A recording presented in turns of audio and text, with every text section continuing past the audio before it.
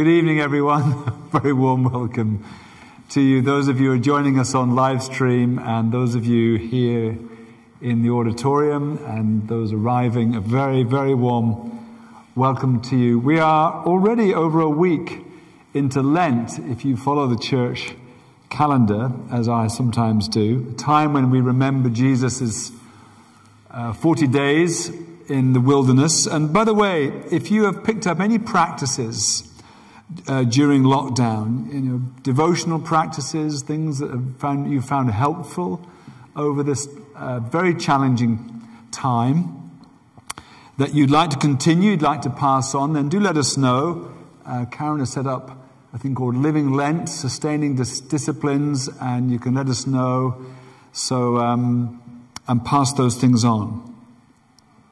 One of the temptations that Jesus faced in the 40 days in the wilderness was the chance of all the kingdoms of the world and of their splendor given to him if only he would bow down and worship Satan, the devil. And Jesus says these words, they're recorded in Matthew and, of course, in Luke.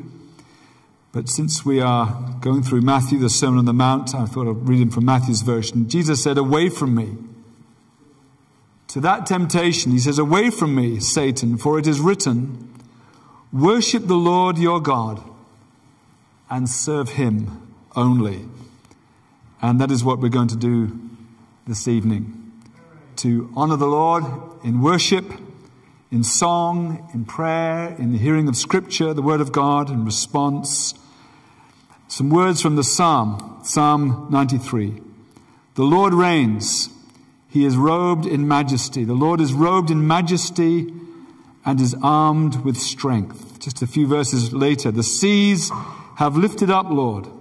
The seas have lifted up their voice.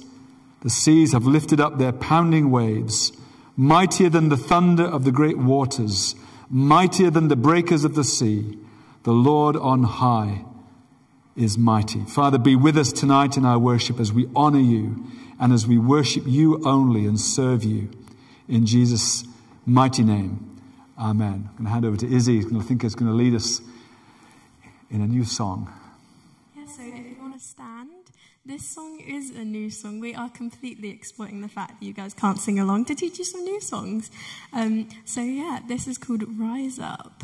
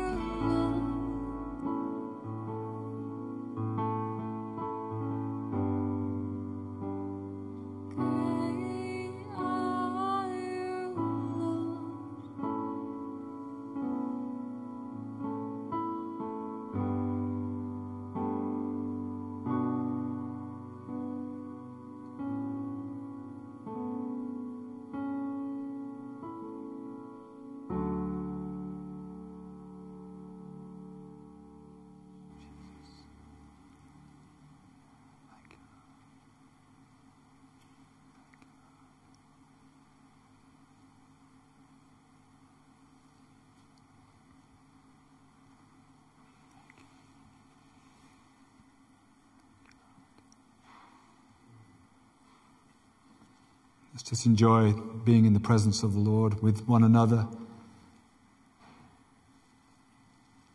honoring Him, praising Him, thanking Him, adoring Him.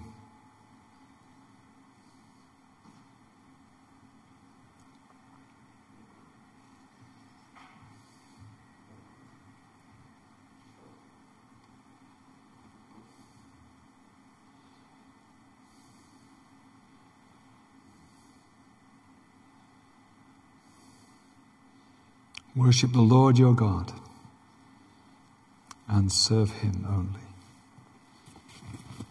Amen. Amen. Would you like to take your seats? Hmm.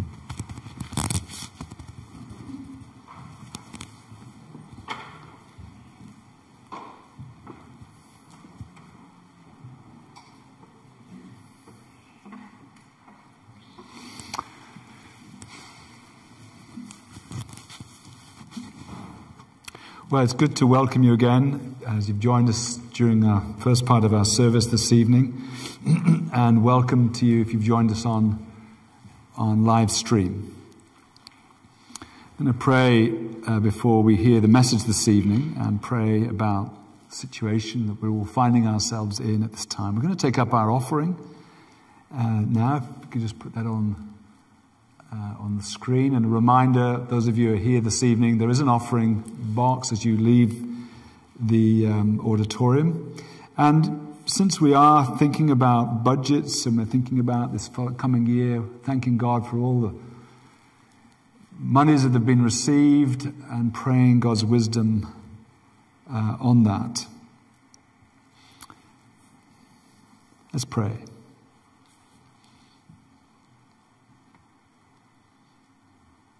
Gracious Father, as we travel through Lent, as we travel, continue to travel through this wilderness called lockdown, be with us more and more. Strengthen us on the journey. Lord, may, may hope growing hope in our hearts not be deferred any longer. Because, Lord, our hearts grow sick when hope is deferred. May it come about soon that we will take these masks off and we will be able to sing to our heart's content and praise you, not only from our hearts, but with loud cries of praise and thanksgiving. Lord, hasten that day, we pray. We pray for our government, of course, and the governments of our world, and all those in authority, all those who are called upon at this time to make huge decisions. Have mercy upon us.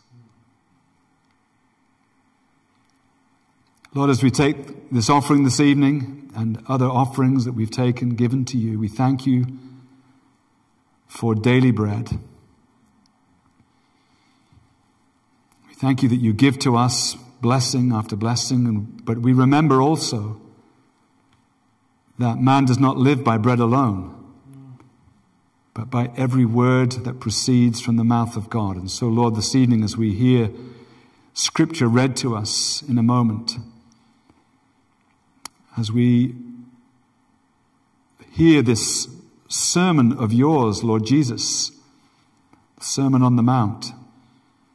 Speak to our hearts, Lord. Strike our hearts with truth and conviction and energy and enthusiasm. A prayer from Tim Ford that he brought for this evening. Lord, we've been looking at some hard stuff. every one of us needs to address and think about. Please show us how and where we need to change. And thank you that you never give up on us. Amen. Amen. Emma, I wonder if we could have the Lord's Prayer. This is part of the Sermon on the Mount, of course. We're coming up to this next week. Looking forward also to having our communion, new communion table here uh, next week as part of our worship. And um, so let's say these words together the Lord's Prayer. This is what we're called to pray. It's quite simple. Our Father, who is in heaven, hallowed be your name. Your kingdom come, your will be done, on earth as it is in heaven. Give us today our daily bread.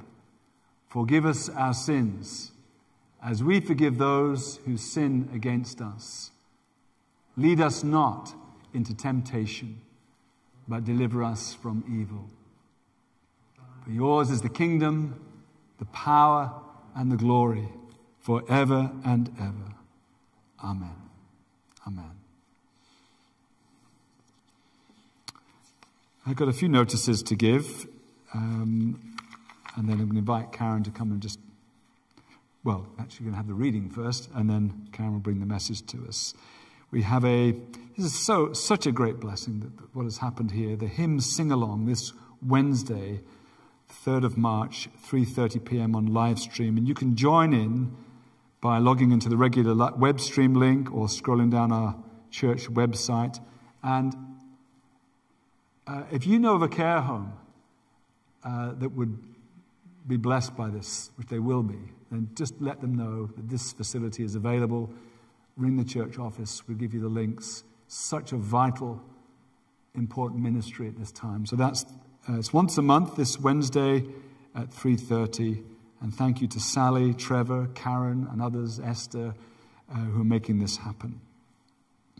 This Friday, we have a World Day of Prayer, Friday the 5th of March at 2 o'clock till 3 o'clock, Millmead in person and on live stream. I believe that Elizabeth is speaking at this event. The service is open to everyone. Please sign up if you plan to come, but you can also just turn up on the day. And uh, for further details, see the article in the Millmead magazine. And again, thank you to Ada for putting the magazine together for this coming, coming month. And then we have um, delighted to say on the 13th of March, we have um, part of our ongoing Shaped by the Word series. It's been going for many years now. We've, we've placed all sorts of things within this title.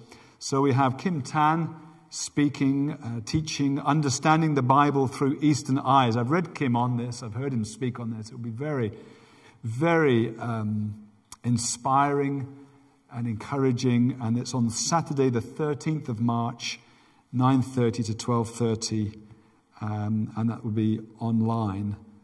So, uh, with an option of in person if regulations permit. Wouldn't that be wonderful?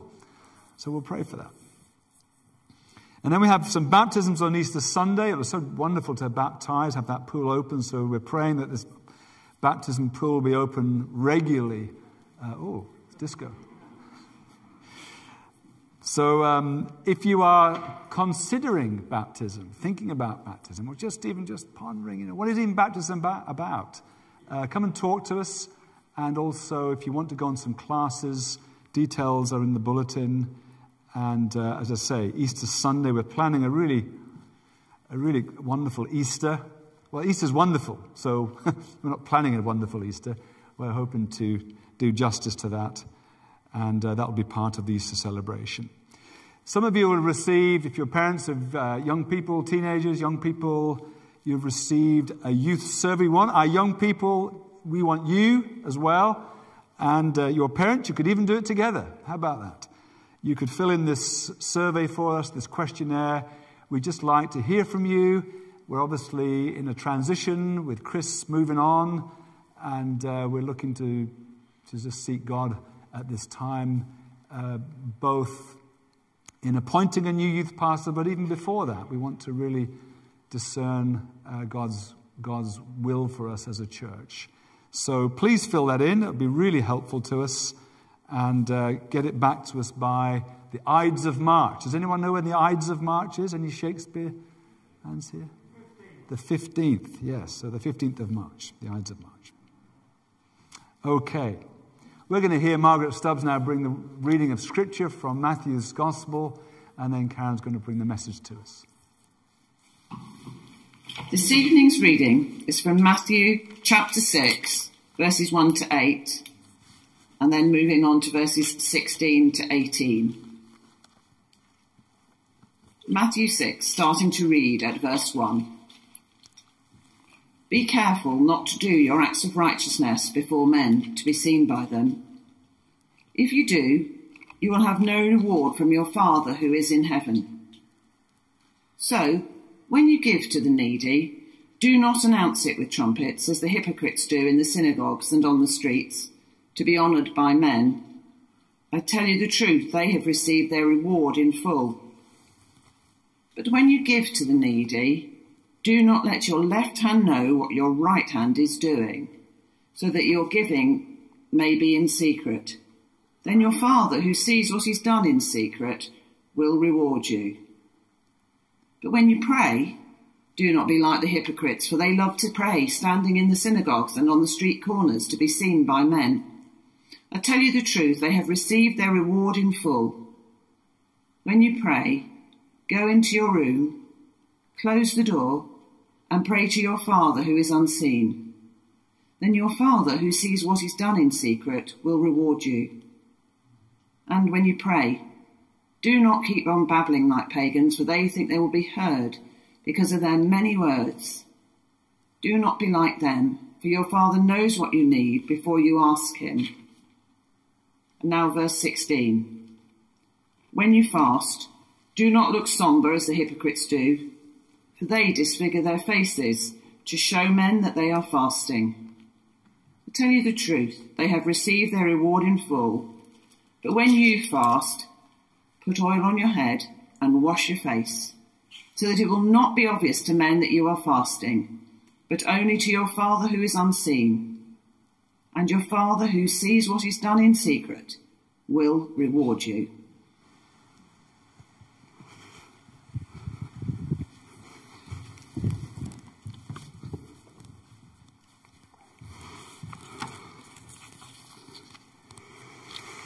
Some of you um, may wake up on a Saturday morning, if you're anything like us, and there's a program uh, called Saturday Live on Radio 4. As we're making breakfast, half asleep state, uh, we sometimes listen into it. And there's a particular part of um, Saturday Live which is just called Thank You. And it gives um, the audience a chance to write in with people, strangers often, that they just want to say thank you to. Um, maybe they did something, some sort of act of kindness years ago, and this person's never forgotten, but they never had a chance to thank them.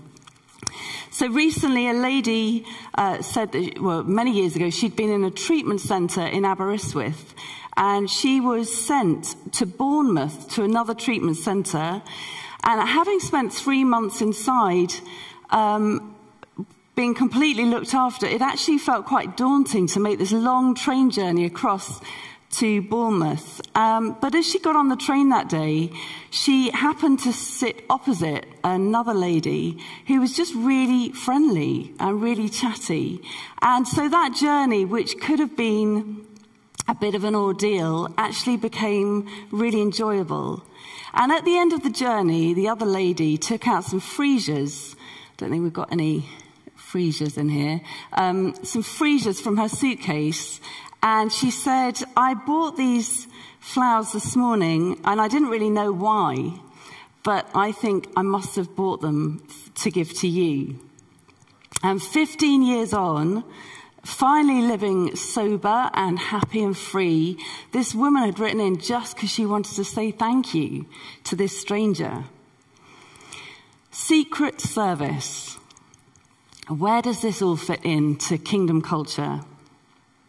I absolutely loved what Esther brought last week, and particularly that image of Jesus filling out the Ten Commandments. Um, you know, Jesus has said, I haven't come to destroy the law, but to fulfill it. And Esther talked about the um, raisins in Danny Champion of the World. You know where Danny's dad puts those raisins in liquid, I think, and then they sort of expand and fill out. And she said that's what Jesus has come to do. He's come to fill out the law. And we are to live lives. This is all about a life. It's not about laws here. We're to live this sort of filled out life a generous life, an abundant life, um, a bigly life, this more than righteousness.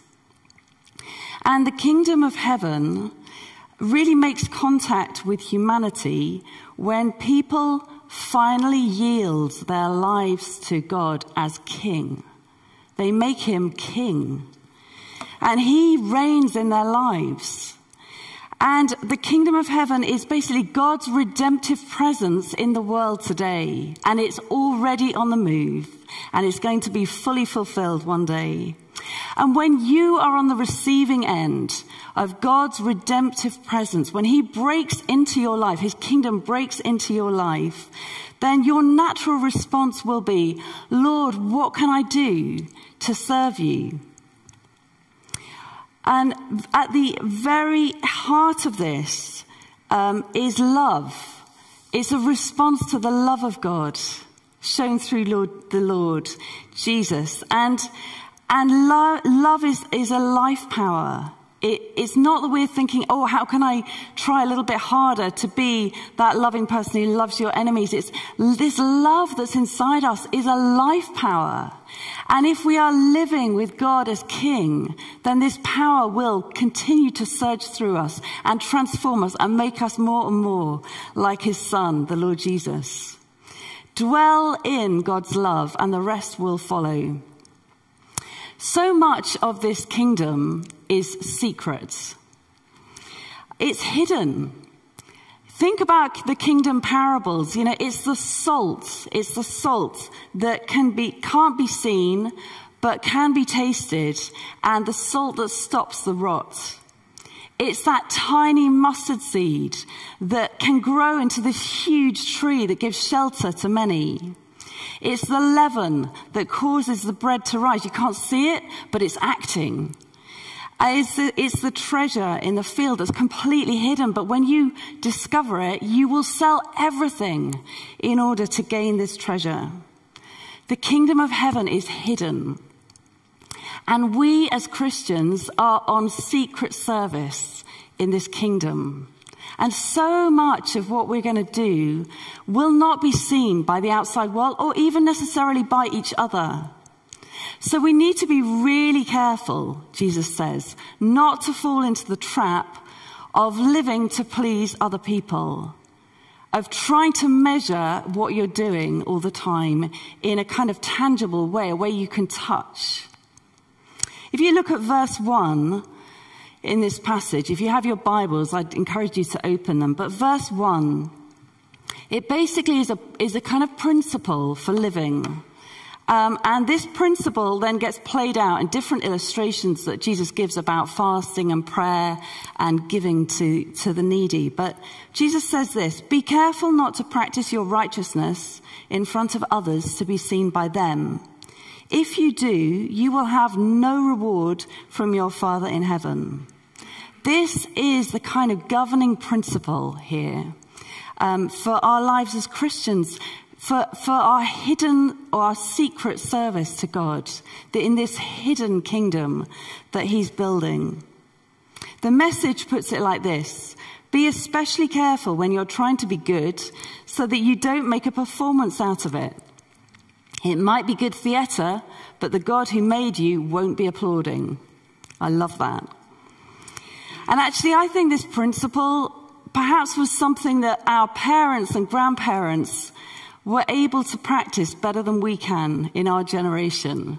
I think it's a principle that's not really esteemed that much anymore.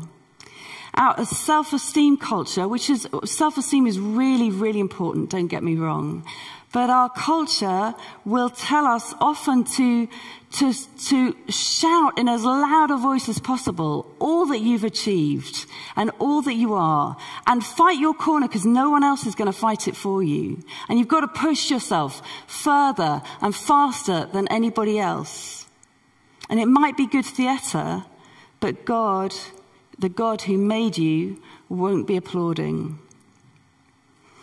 It's difficult. It's difficult for Christians. It's difficult for churches. You know, you look through websites of different churches and, and you think, wow, where does the teaching of Jesus, this secret service, fit in here? Because there doesn't seem to be any difference between what the world is teaching us and what's happening in our churches. We as a church at the moment are looking at um, rewriting our, our, some of our website, our, particularly our vision statement. And actually it's really difficult. It's a, it's a fine line to walk between saying what you aspire to do by the grace of God and just bragging, boasting. And this, you may have, have, felt this yourself when you're, I don't know, talking about the work that you do or your studies. You're in a class and you're trying to prove to the teacher um, what you've learnt. Or maybe you're applying for a job. It's a really fine line. I will never forget my first job application as an English teacher many moons ago when I was um, studying uh, a PGC in Nottingham, and I was working at a school, Rushcliffe School in Nottingham, and the head of English was brilliant there, and she very kindly looked through my job application, um, and I will never forget her comment. She said, um, she kind of took it, handed it back to me. She said, it's a fine line, Karen, isn't it? Between, you know, telling people what you've achieved and, and sounding boastful. Ouch. Ouch. But actually, I'm so grateful to her. And she's right. We are not to be seeking titles or puffing ourselves up, even in the name of religious respectability.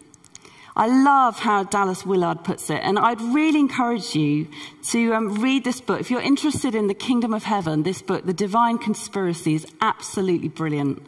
A real classic of Dallas Willard's. He said this Jesus says, the children of the kingdom don't seek to be called professor or doctor, for you have only one teacher, and all of you are students. And you might think, well, what Jesus says here seems to be a bit of a contradiction because only a few weeks ago we heard Charlie preaching on, you know, live like a city on a hill and let your light um, shine before men so they may see your good deeds and glorify your Father in heaven. That was only in Matthew 5. So, so what's going on here? Now Jesus is saying, don't practice your righteousness in front of others to be seen by them. Which is it to be? I don't actually think there is a contradiction here. The point is to live a life so that people, when they look at your life, will give glory to God. All the thanks will go to him. All the praise will go to him. And I don't actually think that Jesus is even saying that you should always hide your good deeds and no one should know what you're doing. Because let's face it, that would just be a bit weird sometimes.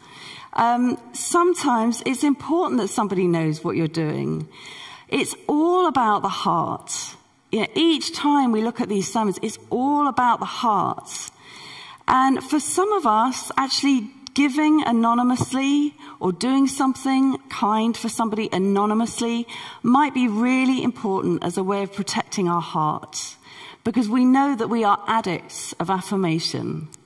Um, this morning, Ian was preaching about the temptations of money, sex, and power. And I'm sure those three were, came up, uh, some blokes came up with those three. Because there's another temptation that many of us face, particularly perhaps women, which is the need for affirmation. You know, we can, if we're not careful, we can just live for the praise, the encouragement of other people. And in wanting the praise of others, what we're really concerned about is either courting their favor or staying out of trouble ourselves. But Martin Lloyd-Jones says, in the last analysis, it always comes down to this. We are either pleasing ourselves or we are pleasing God. Even trying to please other people is ultimately pleasing yourself. We're either pleasing ourselves or we're pleasing God. And when we want human approval, we leave little space for God. And he longs to come in and fill that space, but he's a gentleman and he will not force himself on you. So when we do good deeds just to be seen by other human beings, then God will step aside and he'll say, have it your way. There's no room for me here. And all the praise will go directly to you. And maybe your ego will grow, but your soul will shrivel. You know, God doesn't want to intrude, He waits to be wanted. But if God is truly to be king, then our whole reason for being and doing has to be to please Him. And that means that we are to live for an audience of one. As if the only opinion that mattered because the only opinion that matters is the opinion of the king. That's what it means to live in secret service for the kingdom. I want to ask you tonight when people are in a meeting with you, or in a class with you, on Zoom or physically, when people bump into you, do they get more of God or more of you? Who do you leave them with? And the fact is that God is king. And, and his presence, we are always in the presence of God. He sees our every action, our every thought. Nothing can be hidden from him. The psalmist says, where can I flee from your presence? And this can be both a beautiful thing and quite a terrifying thing. But when we work in secret service with God, we remind people that God is with them. God is caring for them. God is all around them. God will never leave them. And all the glory goes to Him. I just want to give a few examples of this. Um, over this last year, which has been, for all of us, I'm sure, a very difficult year. I remember at the beginning of the first lockdown, a family from the church just dropped off a bag of goodies for our family. It was so kind. It was just, and they'd walked.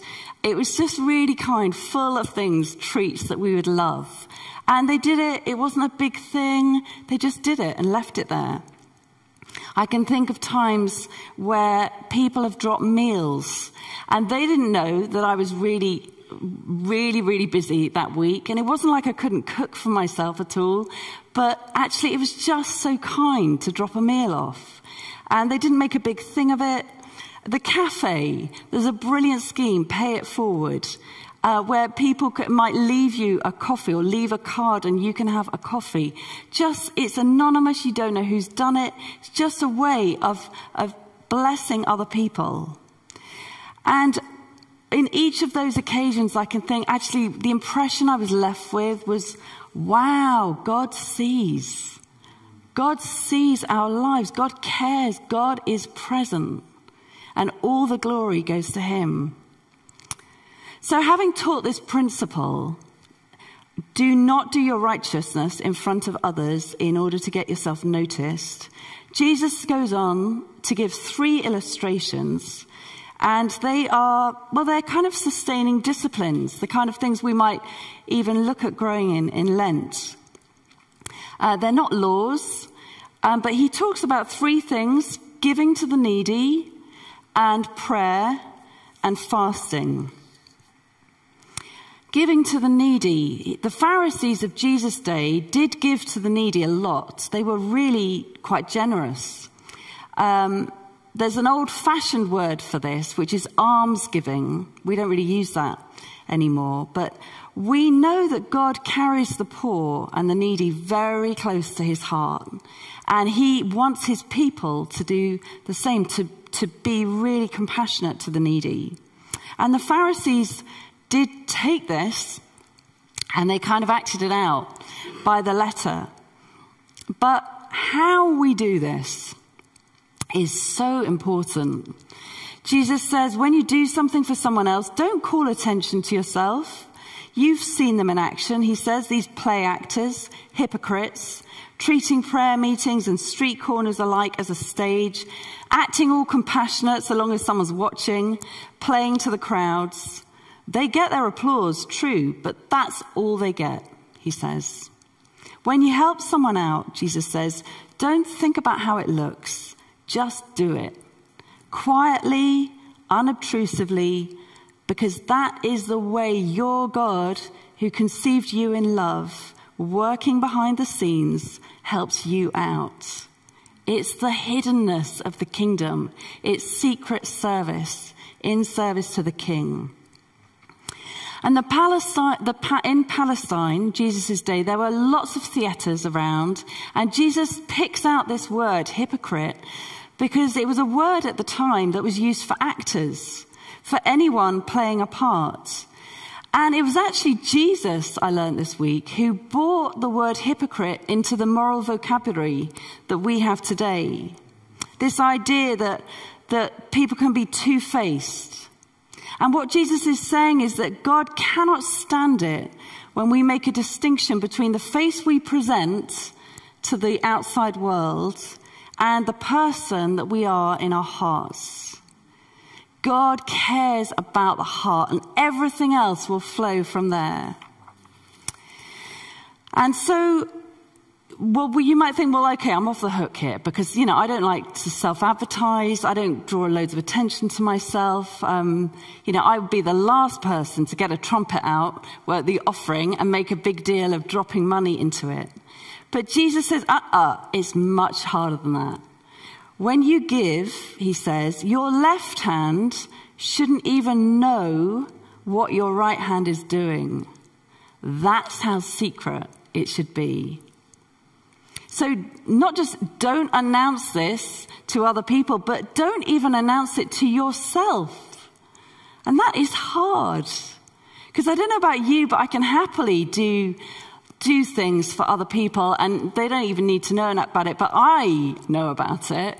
And I can go home feeling really self smug and self satisfied that I've done all of this. Jesus is saying, no, oh, don't even let your left hand know what your right hand is doing. And what he's teaching here essentially is to be self forgetful. Be self forgetful in a good way, not losing your keys all the time. Be self forgetful. Get yourself out of the way. C.S. Lewis it taught brilliantly on this. And he said, anything that takes us outside the prison of our own self centeredness is fuel for self forgetfulness. So get outside every day and go and see something that was created by God that isn't you and just give thanks for it. He says, think about the things that you do well, the things that you create, make. The self forgetful person will be able to design the best cathedral in the world and know it to be the best and rejoice in it without being any more or less glad at having done it themselves than they would have been if it had been done by another person. Ouch.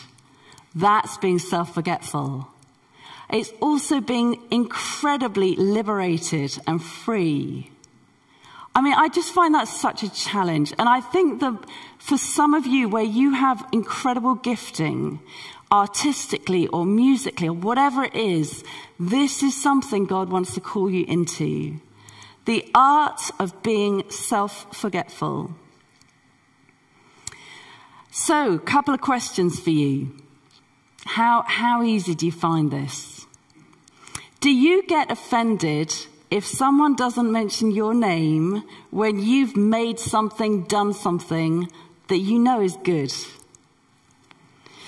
If you don't get a mention, do you take the hump? Second question Are you an affirmation junkie?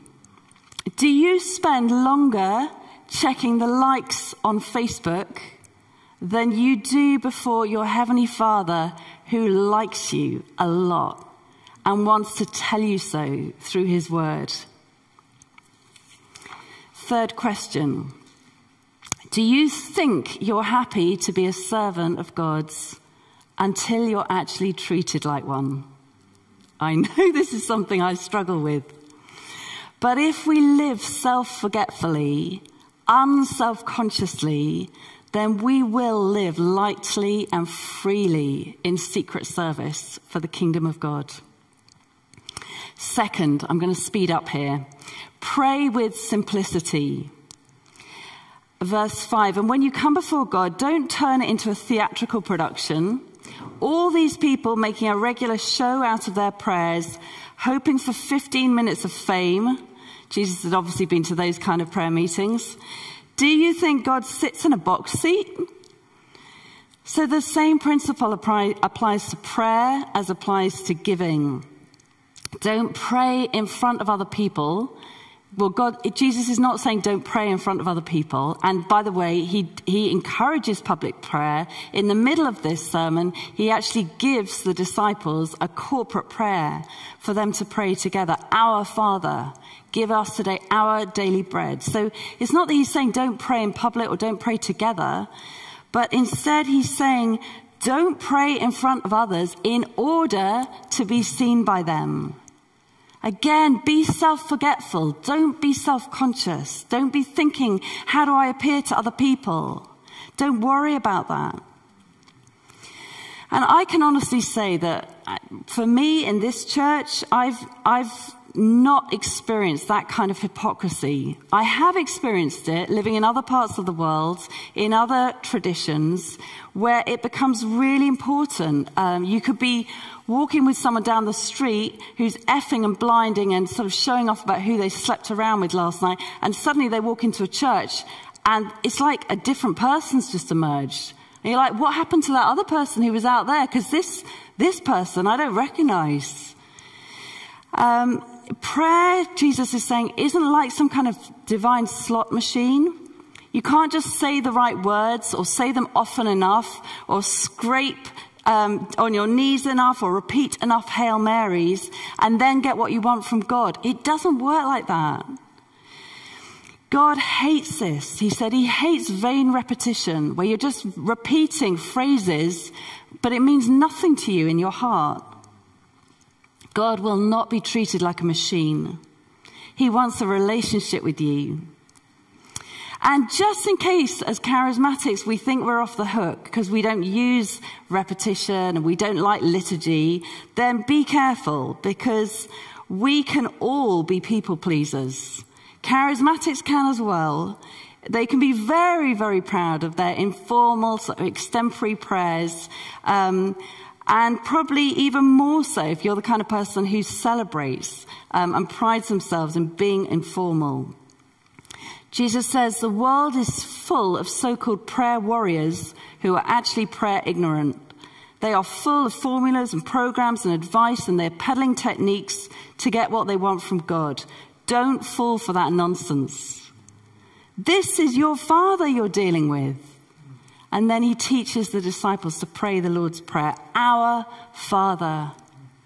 This is the relationship that Jesus is interested in. I love the sculpture by Charlie Mackesy. Just such a powerful reminder. This is at the heart of it all. We, through Jesus, we can call God Father, and He wraps us in this embrace. And surely that's what prayer is about coming into the embrace of the Father, hearing His words over us You are my beloved Son, you are my beloved daughter. In Christ, this is who we are. And everything else flows out of that relationship. So we need to nurture that intimacy. We need to keep coming into that embrace. Get away with God. Get away with Him. Shut the door. Don't let anyone know what you're doing and just spend time with Him. God waits to be wanted by you. And if you don't yet have that relationship with God, then I'd really encourage you to come and talk to us. If you don't know what it is to call God Father, then we would love to see you on Alpha one day. This week on Alpha, we were reminded by Bear Grylls that uh, the gospel says, I am known to Christ, bought at a price, blessed with light. All of my past has been washed clean. It's just so amazing what Lord, the Lord Jesus has done for us. I came across this painting in Polzeath in Cornwall a few years ago, and um, I really, really regret not buying it. I came across it in a cafe called the Waterfront Cafe in Polzeath, and it reminded me very much. It's basically a light, an electric light over the ocean. But I had just been reading about the baptism of Christ, and I was thinking how Jesus just lives under these words of the Father. He kind of dwells in that light, even going into the wilderness. Satan tries to tempt him, uh, to tempt him to role play before God. But he refuses, and instead he lives in his identity as the beloved Son, completely sustained by the Father. This is where we want to stay. And finally, fasting. The Oxford Dictionary defines fasting as a period during which you do not eat food, especially for religious or health reasons. Well, that makes it sound like a, diet could pass as fasting, which is good news for some of us. Um, but in, as a religious practice, people fast in order to grow in dependency on God. And for us as Christians to grow hungry for God's kingdom. And fasting is a, is a strong biblical principle in kingdom living. And it was something that the religious leaders were familiar with, been taught all the way through the Old Testament. But fasting in Jesus' day had become something in an exercise in exhibitionism. So it was a kind of contest of respectability. And the religious leaders had completely missed the point. So they would try to look as gloomy as possible when they fasted. They had even developed this special way of disfiguring their faces with these markings so that everybody knew that they were fasting and they were really miserable. Um, this is how the message puts it, what Jesus had to say to them. When you practice some appetite denying discipline to better concentrate on God, don't make a production out of it. It might turn you into a small time celebrity, but it won't make you a saint. If you go into training, and all these things, fasting, the prayer, is going into training for the kingdom, act normal outwardly. Now, Jesus says, put oil in your hair, which in those days was, I guess, like washing your hair. If you did it these days, you would really stand out. I don't recommend it. Shampoo and comb your hair, brush your teeth, wash your face, God doesn't require attention getting devices. And He will reward you well. And so again, Jesus is saying that those people who are just looking to get others' attention, they are already getting what they want. Their reward has been given in full. But do your fasting as secret service, and then your Father, who is in secret, will see your hidden heart and will respond. Because the secret place is where God is. And when we give in secret, pray in secret, fast in secret, we stand under the shadow of the Almighty in that hidden place, intimate place, just us and God. I am rubbish at fasting, so I feel like a complete hypocrite talking about fasting tonight. I think I've tried, I could count on one hand how many times I've tried it. And every time I have, my entire family has known that I'm fasting by the end of the day because I'm in such a bad mood. All I can think about is food. And probably the, the people who are actually really good at this practice are so humble, they would never tell anyone anyway. So I don't even know who to recommend you to talk to. But get one thing clear, I think, that Jesus loved food. Jesus loved feasting and partying. Um, and he ate a lot with people. Um, but the idea here, I believe, is, is that we are to be sustained by not the things that we can see around us in the material world, but by the King who made it all and who holds our lives together. Jesus said, My food is to do the will of him who sent me. And if fasting gives me a hunger for that, well, I think fasting is something I'd like to try. And in the ba- in his after his baptism in the wilderness, he learned this discipline as he was fasting of being completely reliant on the secret source of God and resisting the deceiver who tells you that you are only nourished by what you can see around you. It's not true. There is a king of this universe who sees you and knows you and sustains your life. Izzy and the band are going to come and lead us in a song now. And um, as they do I, do, I don't want you to be left with any single sermon from this, this series, the Sermon on the Mount, with a list of rules. Because this is about a life, it's not about laws. And we're not to be thinking, oh, I can tick that one off the list. That would completely miss the point. It just like the beatitudes, the beautiful attitudes, this is about a life being transformed and shaped for the kingdom. Giving, prayer, fasting can shape our lives, but they all need to be done as secret service. So Izzy's going to lead us in this song, I'm laying down my life now. And I'd encourage you to stand if you're able, or you might want to kneel. And let's use this as a response. Maybe close your eyes so that you can't see anyone else and no one else can see you. This is secret service for the King.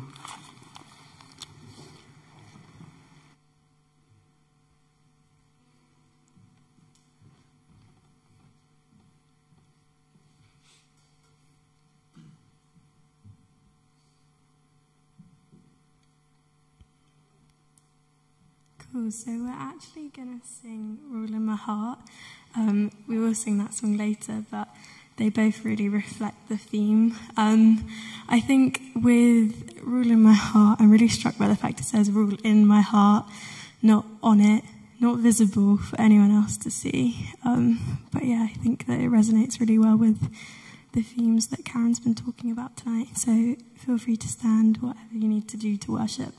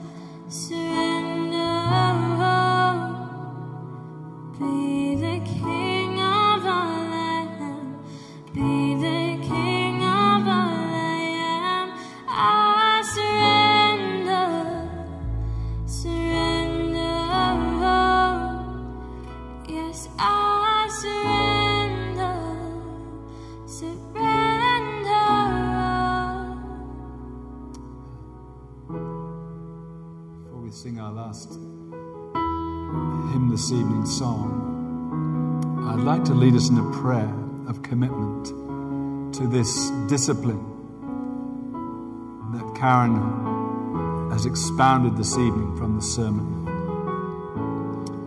Um, I'm a great fan of the writings of Brennan Manning. And a few years ago, actually, the late Brennan Manning, he wrote a book, Signature of Jesus. And he wrote a letter in that book, a letter to the churches of North America. And in this letter, he said, It is time to put away celebrity. It is time to put away success. It's time to put away all these things that we crave for. And it is time to embrace the ancient discipline of the secret. This is the most important thing for the church in the West. And Karen has brought this to us tonight very powerfully we would embrace the way of Jesus. And um, if you feel convicted about this this evening, Um, I'm going to encourage you just to hold your hands out in this way. And sometimes we hold our hands out like this because it's an offering to God. And, but actually, this evening, hold our hands out as a response to the message that we've heard that actually we want to be people who, for whom our left hand doesn't know what our right hand is doing. That we live in this glorious self forgetfulness, as, as Karen brought to us from the Sermon on the Mount this evening. And that's you. Just, just open your hands before the Lord. Father, we thank you for this message this evening, this call upon our lives to let go, to step aside, to enter into the secret place, a room an embrace your embrace. To forsake the lights and the affirmations that we all admit that we crave. And, and enter into the freedom of being before you, being so overwhelmed by your love and grace that we're liberated to serve you and to love people and to live contented lives and to know, Lord, that whatever we offer to you, um, it's your business. How you use it, where you take it, what you do with us. Lord, that's not our business. And so, Lord, liberate us tonight, we pray. Deeper, perhaps more than ever in our lives. Even tomorrow as we wake, whatever we're doing, to know and to cultivate this secrecy before you and to find great joy and great contentment, that you would fill us to overflowing. And then, Lord, we can love. And then, Lord, we can serve in ways that honor you and give you great pleasure and joy. Lord, hear our prayer for ourselves. Hear our prayer for our church. Lord, we're very conscious. We have a lovely big building. We have great banners. We have all of these things. But may the heart of this church, Lord, be conceived in secrecy. May it always be one in prayer. May it always be one before you. We ask this for the glory and for the honor of Jesus, for his ongoing fame in the world. As the psalmist says, Not to us, not to us, but to you be the glory, O God. Amen.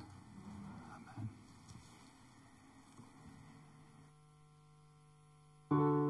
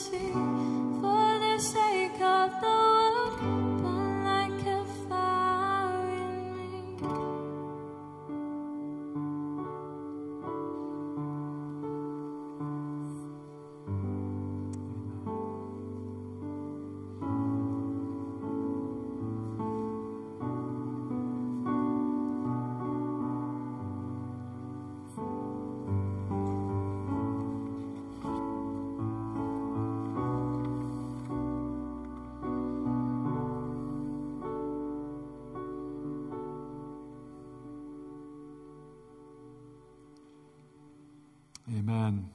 Amen, Izzy, thank you for leading us this evening in the worship band. And tomorrow is St. David's Day.